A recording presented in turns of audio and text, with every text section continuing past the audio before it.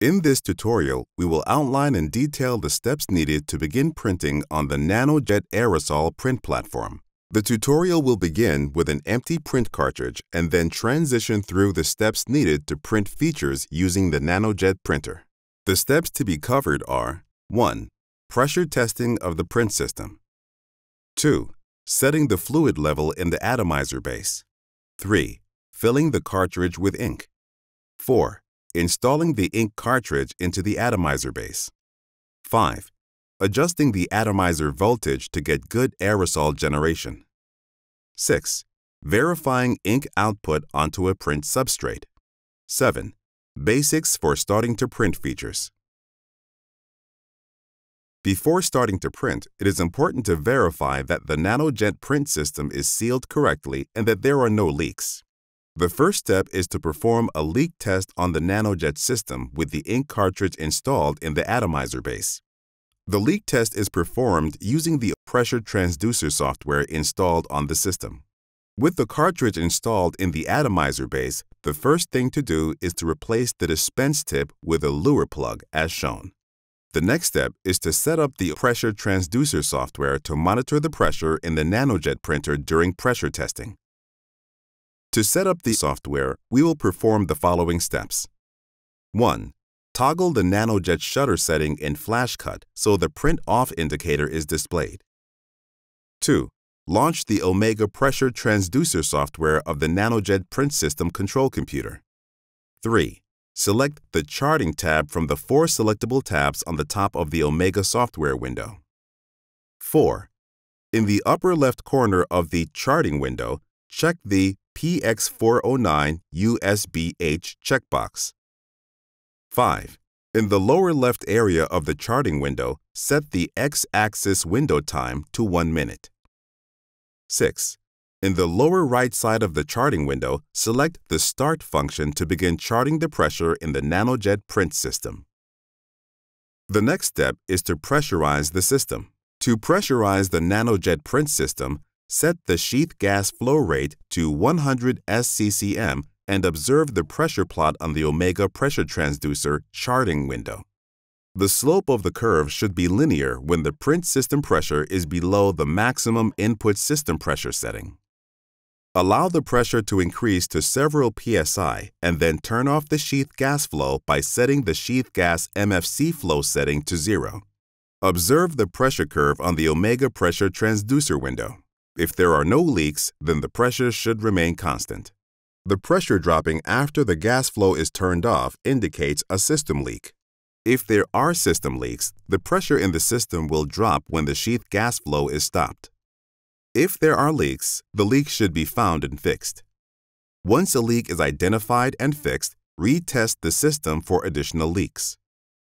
This result shows a leak-free system. Once the NanoJet system is leak-free, move on to the next steps. The next step is to verify that the water level in the atomizer base is set correctly. Note that if this is the first time the NanoJet system is being set up, the yellow power cable on the right side of the atomizer will be disconnected from its mating connector on the atomizer base. Before attaching the yellow cable to the atomizer base, be sure that the toggle switch to the atomizer is switched to the off position. Applying power to the atomizer without water in the atomizer base will cause the atomizer transducer to be damaged, and the transducer will need to be replaced. To verify that the water level is correct, remove the ink cartridge from the print head assembly. First, unclamp the two toggle clamps, one from each side of the ink cartridge, and then remove the aerosol gas inlet tube by unscrewing the Swagelok fitting. With the cartridge removed from the atomizer base, insert the water level gauge into the atomizer base. The water should be filled so the water comes up to the bottom of the water level gauge. Use only distilled water, not deionized or tap water, to fill the water reservoir. The ink cartridge can be inserted into the atomizer base once the water level is set.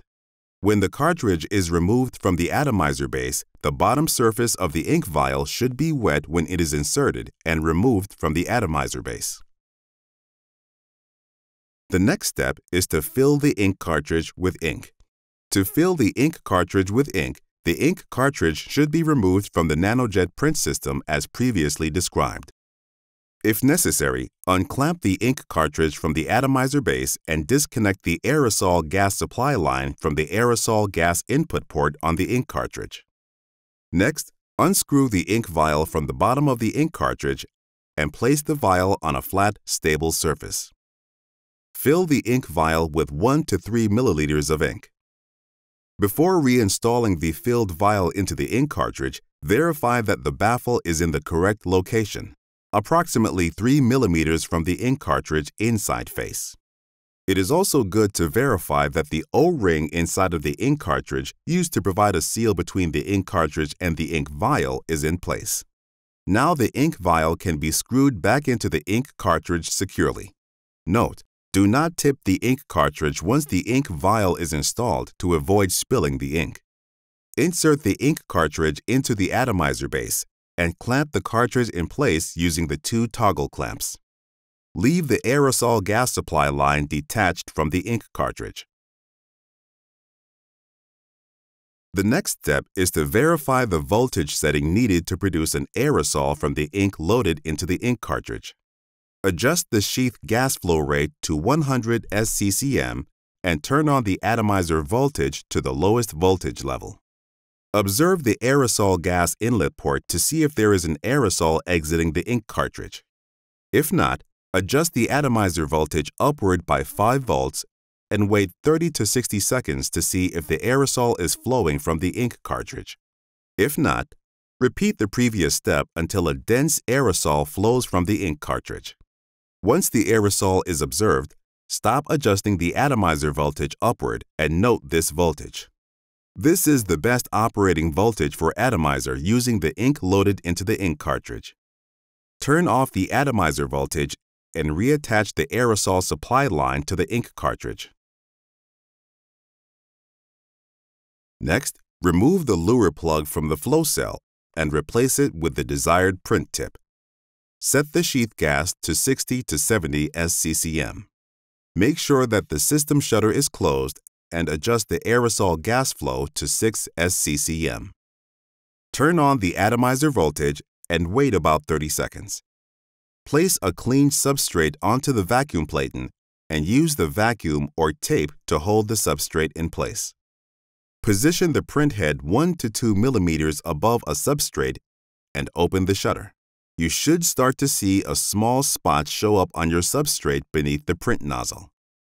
If the material output is too low, increase the aerosol gas flow rate until you start to see the ink forming a small drop on the substrate surface. Close the shutter. You are now ready to begin printing on the NanoJet printer. To begin printing, select the FlashCut CNC GUI. Select the G-code toggle switch on the front screen and open a G-code program from the sample programs provided with the system. Once a G-code program is loaded, position the print tip to the position where the printing is to begin on the substrate.